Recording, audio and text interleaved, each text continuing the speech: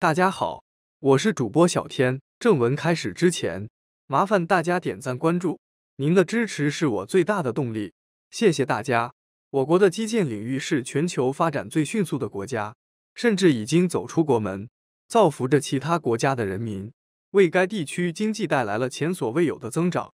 最近，我国再次与我们的铁哥们巴基斯坦达成合作计划，可谓是再次让巴铁的人民欢呼雀跃起来。这是怎么一回事呢？据媒体报道称，一直被搁置的改造巴基斯坦一号铁路干线近日终于有消息了。该工程于近日动工，中国承包施工。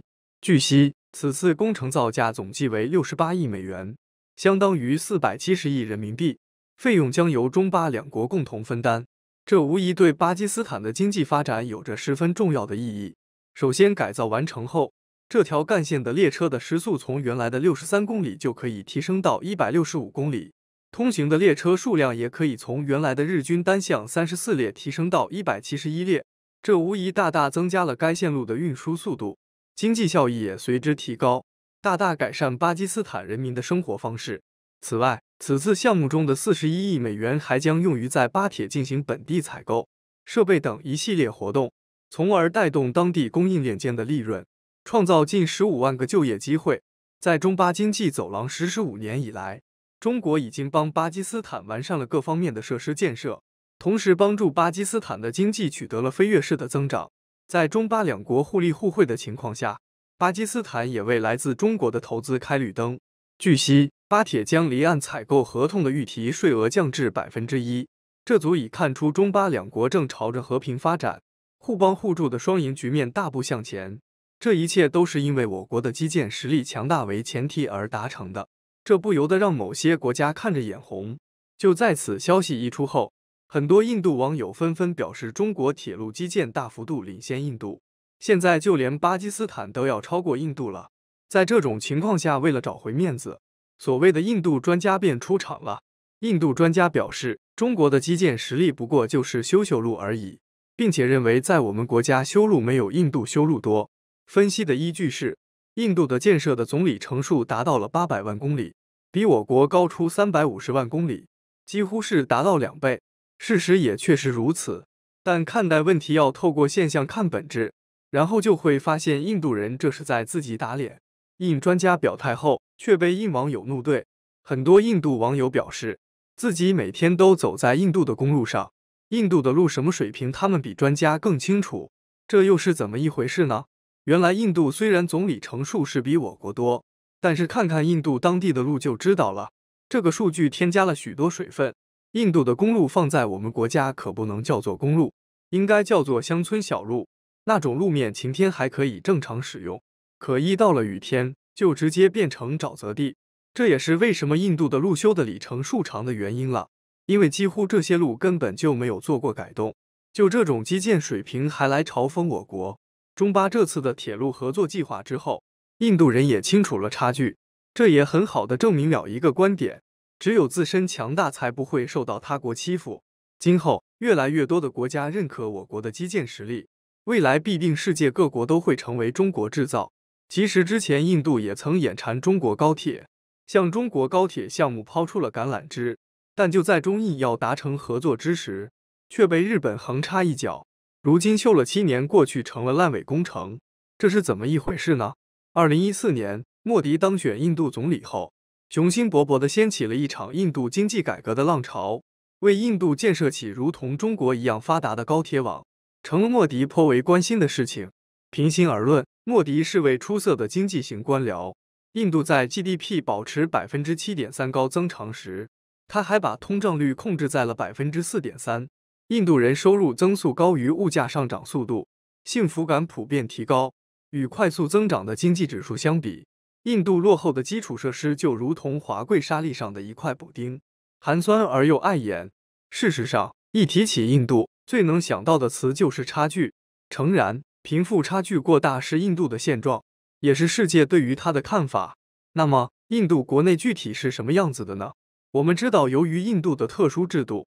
导致国内贫富差距大，繁华的地方总是高楼林立，而偏远的地区，首先映入眼帘就是座座贫民窟。不仅如此，印度的交通设施极其简陋，公交车没有门，民众可以自由上下，甚至现在的印度火车还是人挤人的窘境。不过俗话说得好，要致富先修路。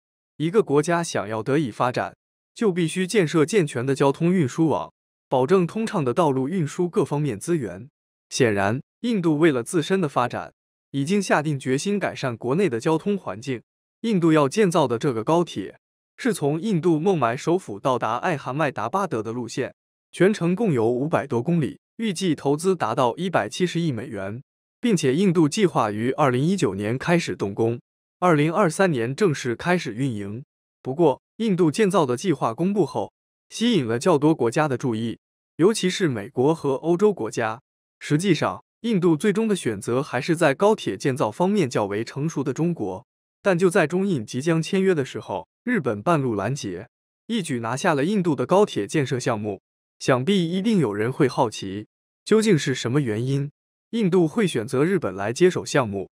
其一。印度的无理要求，当时的印度拥有着全球第一的外债，要想建造高铁几乎不可能。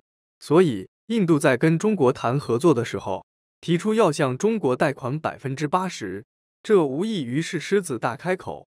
面对这样的情况，中国自然拒绝，所以这个建造的问题暂时被搁置起来。实话实说，印度的高铁建筑的确是个香饽饽，世界上有能力建造高铁的国家都在觊觎这个项目。由此，在中印合作耽搁后，日本突然横插一脚，还向印度提出了无法拒绝的条件：修高铁，同时还为印度提供八百亿。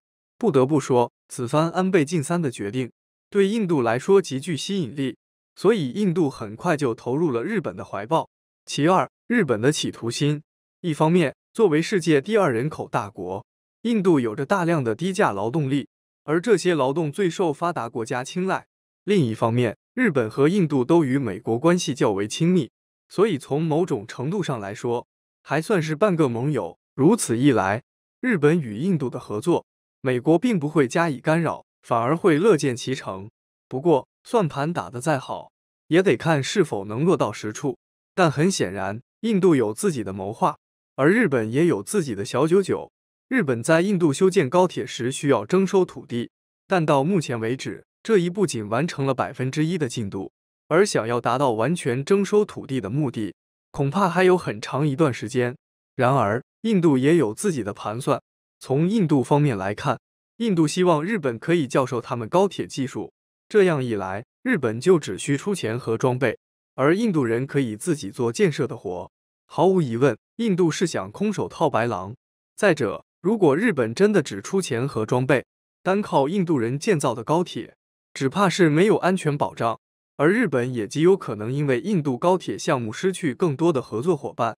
值得一提的是，同样是合作项目，作为泰国境内第一条标准轨高速铁路的中泰铁路已经初具规模，且预计在二零二三年正式投入使用，届时将会是中国与泰国重要的沟通桥梁。再反观越南，同样和印度一样选择了日本，也同样陷入了停滞不前的局面。事实上，不论是印度当初的背信弃义，还是日本的横插一脚，多多少少都引起了中国的不满。但从现在的情况看，这对中国来说还算是件好事儿，并且中国还需要向日本表示感谢。